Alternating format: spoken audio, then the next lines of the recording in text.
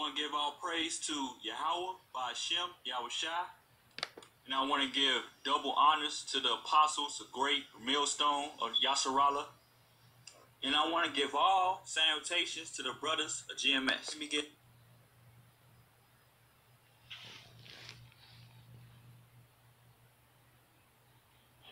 This is verse Ezekiel 4 and 13.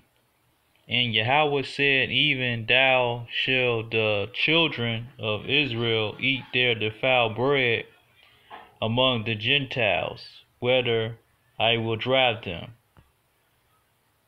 Yeah, that's the uh, food and the water. It's gonna be the the fowl in the land. Check out the clip.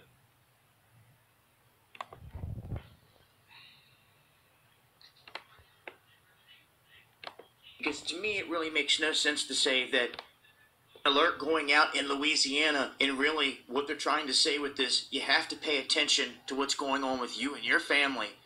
Because to me, it really makes no sense to say that 97% of the people that get infected by this parasite are dying and that it's contaminated all of the water in Louisiana. They're talking the bayous, they're talking drinking water has been affected, pools, water, uh, water used for showers and bathing. But then they turn around and say, guess what? It's perfectly safe to drink.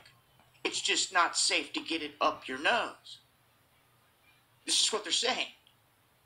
They're saying that the infection occurs when the water containing this amoeba enters the body through the nose and travels to the brain where it starts to destroy tissue. Now, there was a boy that contracted this a few years back and that died from it. They're saying that he got it from a slip and slide in his backyard. So, what they're saying is this is resurfaced. Uh, this is, I think, the third time since 2015 where this has all been found in the same district. So even though they say they start this off saying the Louisiana water system, it looks like they're focusing on one district.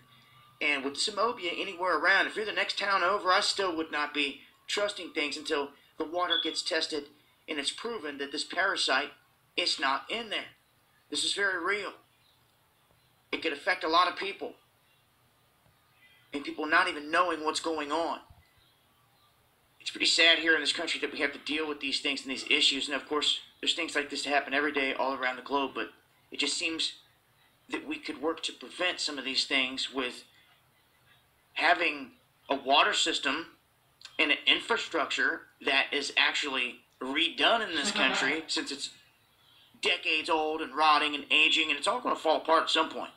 There has to be a plan to step in and start to redo some of the stuff, like up in Illinois and in areas up there. There is a leaching problem where the copper pipes or the copper pipes they used decades ago, which are not safe to use, are leaching different carcinogens into the water. And they admit this, but they're like, we're not going to pay for it. The people are going to have to pay for it per home. If you want your house and your piping redone, then, then you're going to have to pay for it. The issue is this, though. Even if they redo their piping, all the other hundreds of miles of piping carrying the water to their house is contaminated. So this is a huge issue across the country, and I hear it all the time from people saying that their water is discolored, tastes funny, smells funny, this and that. Something that we really have got to get on top of here in this country. But uh, this is some of the latest. I'm going to leave a link. I'll continue to update as things change. Make sure to tune in to Underground World News Live Friday nights, 9 p.m. Eastern, Dahboo 77.